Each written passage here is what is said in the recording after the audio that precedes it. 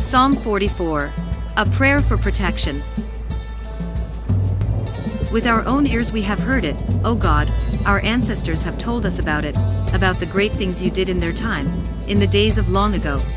How you yourself drove out the heathen and established your people in their land, how you punished the other nations and caused your own to prosper. Your people did not conquer the land with their swords, they did not win it by their own power, it was by your power and your strength, by the assurance of your presence, which showed that you loved them. You are my King and my God, you give victory to your people, and by your power we defeat our enemies.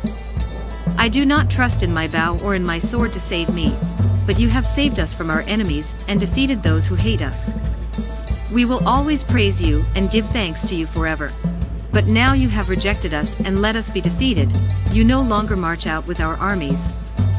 You made us run from our enemies, and they took for themselves what was ours.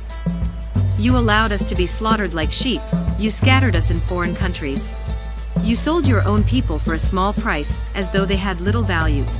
Our neighbors see what you did to us, and they mock us and laugh at us.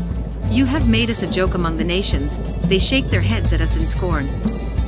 I am always in disgrace, I am covered with shame from hearing the sneers and insults of my enemies and those who hate me.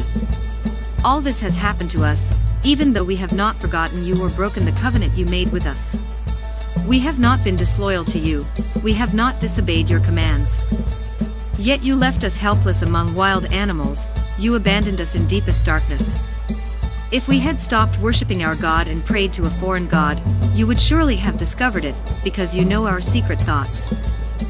But it is on your account that we are being killed all the time, that we are treated like sheep to be slaughtered.